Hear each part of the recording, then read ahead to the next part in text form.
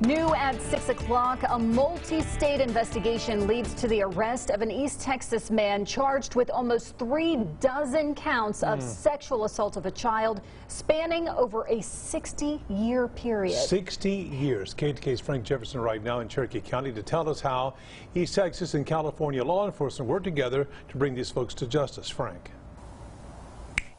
Neil Casey, this all started when renovations were done to a building in California, and it was there that law enforcement found evidence that linked these criminals to sexually assaulting several children.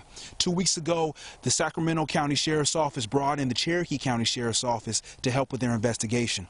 Yesterday, the two law enforcement agencies, along with Homeland Security, conducted a search warrant and arrested Theodore Smith for allegedly sexually assaulting several children. Smith's son, James, was arrested the same day for sexual assault while he was on a trip in California. Sheriff Brent Dixon says now that the victims are safe, he's glad to see these two men behind bars. There's not a better feeling. There's a special place for these two. Um, there's a special place for anybody who hurts a child. Um, we won't tolerate it in this county. So far, Theodore is charged with 34 counts of a lewd act of a child under age of 14 with force. He also has two more counts of lewd or lascivious acts on a child under 14 years old.